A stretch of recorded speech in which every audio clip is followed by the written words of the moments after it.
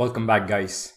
In the previous two videos, we learned about decorators and how to provide a theme using decorators in version 5.3.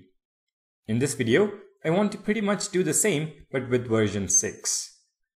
There is a slight variation in how we specify decorators in v6 which is what I quickly want to cover. We are going to keep the scenario same as before.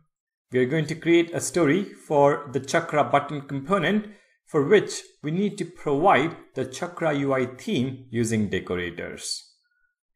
First step, install Chakra UI and the supporting packages. You can find them in the getting started section of the docs. So copy all the packages and back in VS Code, yarn, add, paste the packages.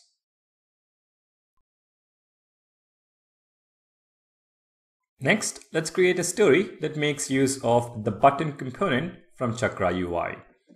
So, new folder called Chakra button. And within the folder, create a new file, chakrabutton.stories.js.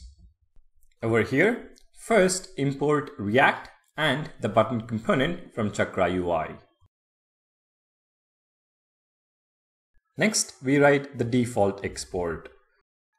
Export default, the title is going to be chakra slash button and the component is going to be the button component which is what we've imported from Chakra UI.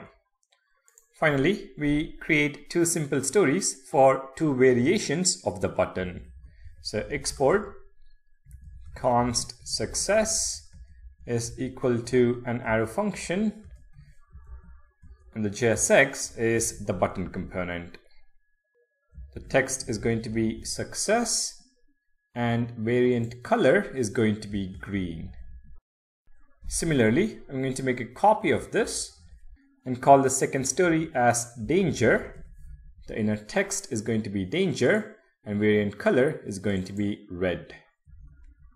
Now, if you wish to, you can use the args mechanism, but I'm keeping it simple for now. So this is pretty much our chakra button stories. However, if we were to run storybook, both these stories would throw an error as they are missing the theme. So let's wrap every story with a global decorator, which is the theme provider component from Chakra UI. Open preview.js and let's make the necessary imports. We are going to import React from React and from Chakra UI, we are going to import a couple of things.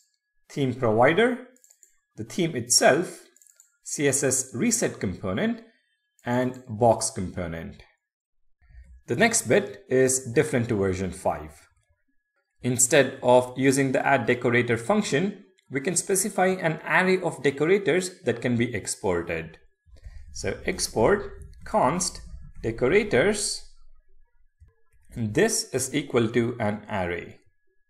We just have the one decorator at the moment. And the decorator is nothing but a wrapper component for a story. So this is going to be an arrow function which receives story as its argument.